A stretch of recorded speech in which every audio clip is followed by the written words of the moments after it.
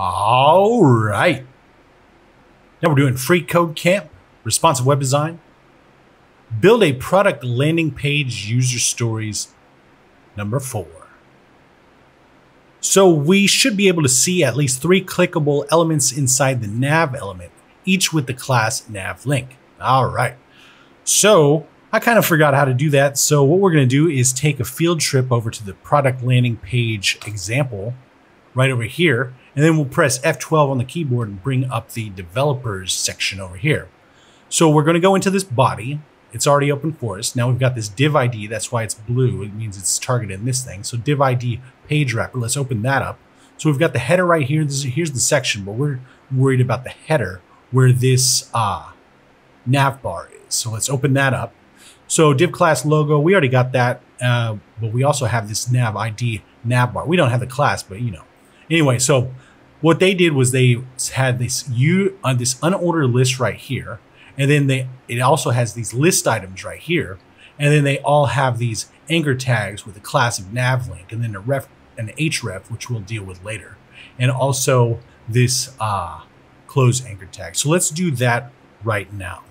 So what we're going to do here is we'll say, ah, hmm, what are we doing? Oh, an unordered list right there. And then a close, pardon me, close unordered list like that.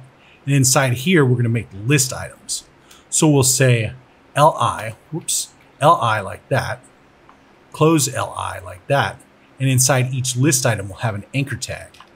We'll say, oh, excuse me, an anchor element. So we'll have a like this, and then close a, all right? And then what we're going to have here is a source. No, let's just go look. Class of nav link right there.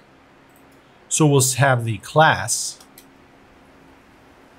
Class equals equals there we go. Equals that's not it either.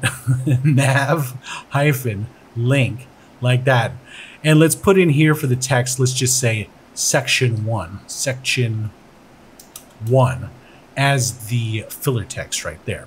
All right, so let's uh, take these these uh, list items like this. Let's copy it like this and put two more down. One, two. Change this one to two, this one to three, just like that. And so we've got something looking like this. Uh, let's open up the console. Got that right there. Let's come down here, run the test. Each nav link, pardon me, each nav link element should have an href. Well, we haven't gotten to that one because that's number five.